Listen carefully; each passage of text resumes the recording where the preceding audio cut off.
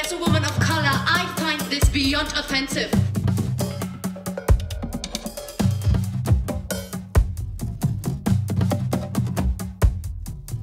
Me too, me too, me too, me too, me too, me too.